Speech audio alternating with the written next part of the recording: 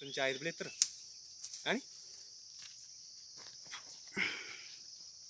ਇੱਥੇ ਮੁੜ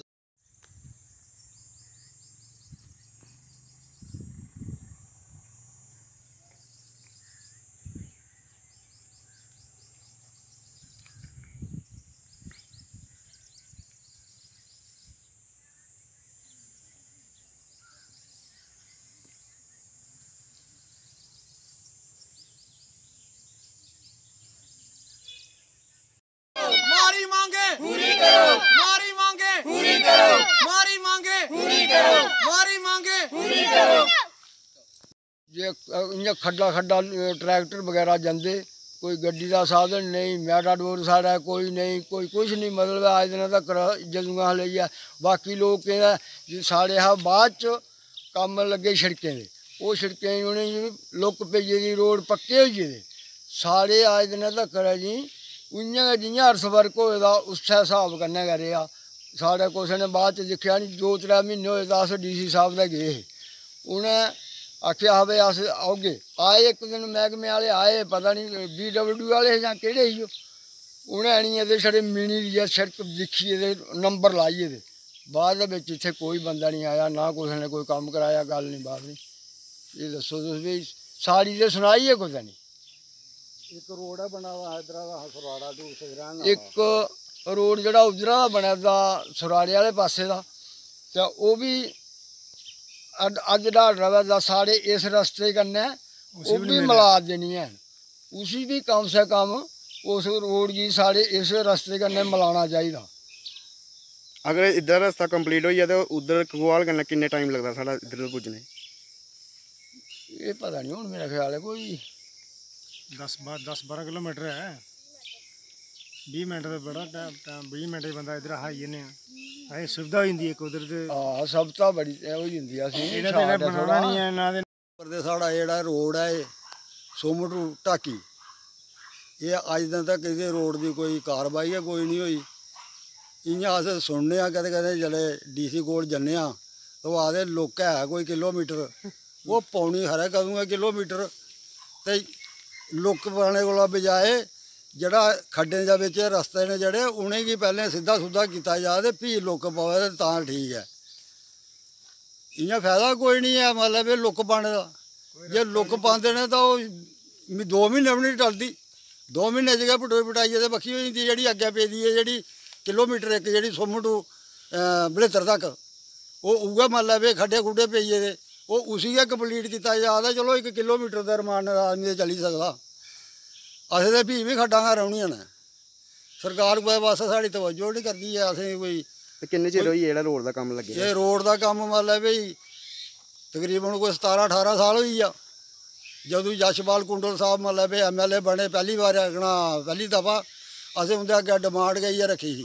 ਰੋਡ ਦੀ। ਉਹ ਰਾਜ ਦਿਨ ਤੱਕ ਕੋਈ ਰੋਡ ਨਹੀਂ ਬਣਿਆ ਦੋ ਸ਼ਿਫਟਾਂ ਤਰਾ ਉਹ ਵੀ ਕੱਢੀ ਏ ਇੱਕ ਸ਼ਿਫਟ ਜਿਹੜੀ ਏ ਮੜਿਆਲ ਸਾਹਿਬ ਹੋਰੇ ਵੀ ਗੱਡੀ ਉੜੀ ਤੇ ਇਹਦੇ ਰੋਡ ਦੀ ਕੋਈ ਕਾਰਵਾਈ ਨਹੀਂ ਕੀਤੀ। ਜੀਆਂ ਆਪੇ ਦਾ ਇਆਂ ਹੈ। ਹੁਣ ਸਭ ਲੋਕ ਜਿਹੜੇ ਟਰੈਕਟਰ ਟਰੂਟਰ ਮਾੜਾ ਮੋਟਾ ਖੱਡਾ ਖੱਡਾ ਹੁੰਦੇ ਵਰਖਾ ਵਰੀ ਆ ਜਿਹੜਾ ਦਾ ਖਾਡਾ ਬੰਦ। ਕੋਈ ਬਿਮਾਰ ਹੋਈ ਜ਼ਿਆਦਾ ਲੈਣਾ ਬੜਾ ਮੁਸ਼ਕਲ ਹੋ ਜਾਂਦਾ। ਤੇ ਹੁਣ ਜਿਵੇਂ ਦੇਖੋ ਕਿ ਬਰਸਾਤ ਦਾ ਮੌਸਮ ਆਣੇ ਵਾਲਾ ਅੱਗੇ ਤੇ ਜੇ ਹੁਣ ਬਰਸਾਤ ਦੇ ਮਤਲਬ ਇਹ ਦੋ ਤਰੇ ਦਿਨੇ ਜਾਉਣੇ ਵਾਲੀ ਹੈ ਕੱਲ ਤੇ ਆ ਸੰਗਰਾਂਦ ਲਹਿਰਾ ਮਹੀਨਾ ਜੜੀ ਜਾਣਾ ਸੰਗਰਾਂਦ ਹੈ।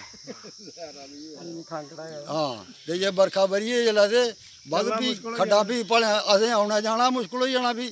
ਘਰਾਂ ਬਾਹਰ ਨਿਕਲਣਾ ਮੁਸ਼ਕਲ ਹੋ ਜਾਣਾ ਤੁਸੀਂ ਕੀ ਮੰਗ ਕਰਨਾ ਚਾਹੁੰਦੇ ਮੰਗ ਇਹ ਵੀ ਰੋਡ ਚਾਹੀਦਾ ਸੀ ਰੋਡ ਸਾਡਾ ਜਿਹੜਾ ਉਹ ਬਣਾਈ ਹੁਣ ਠੀਕ ਹੈ ਉਹ ਤਾਂ ਅਸੀਂ का बहुत बहुत स्वागत है हमारे गांव में आने के लिए क्योंकि साड़ी परेशानी ये है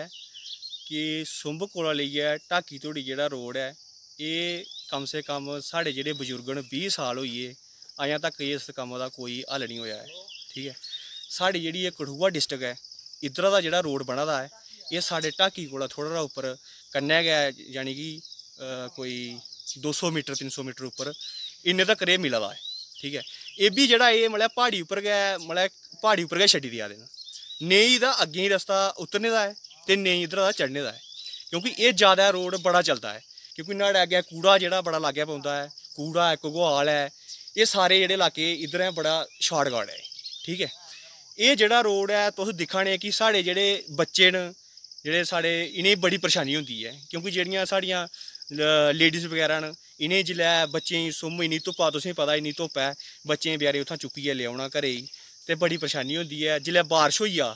ते रस्ता चलने जोगा बी निं रौंह्दा गड्डियें बी छोड़ो रस्ता चलने बी निं रौंह्दा ऐ ते बड़ी परेशानी ऐ कि रोड अगर बनी जाए ते साढ़े जेह्ड़े सारे मसले हल होंदे न साढ़े जेह्ड़े एह् मिनिस्टर न जेह्ड़े